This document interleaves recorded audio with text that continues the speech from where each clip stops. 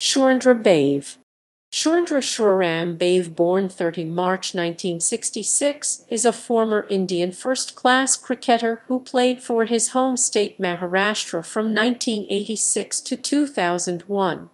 A right-handed opening batsman, noted for his prolific run scoring and ability to build large innings, Bhave regularly captained Maharashtra throughout the 1990s.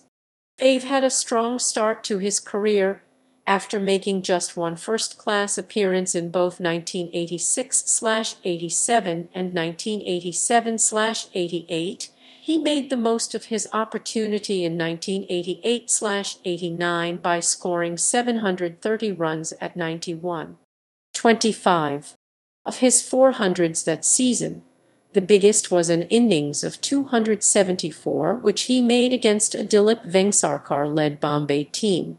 He would score a further six double hundreds in his career, three of them in 1992.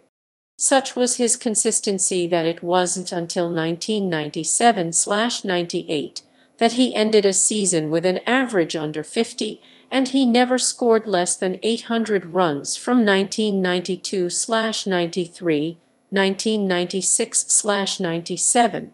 Although Maharashtra never won the Ranji Trophy while Bhave was at the club, he did captain them to the final in 1992-93.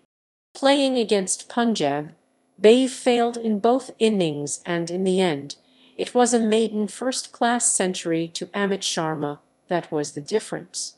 Bhave played for India in the 1992-93 SAARC Quadrangular, a limited overs series also competed for by Sri Lanka A, Bangladesh A and Pakistan A. Bhave scored 81 against the Sri Lankans, and although India made the final, the contest was cancelled following rioting in the host city of Dhaka.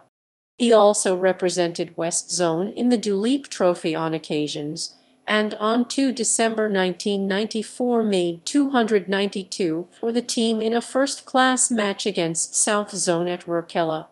His 739-minute vigil ended when he was bowled by off-spinner Kanwaljit Singh.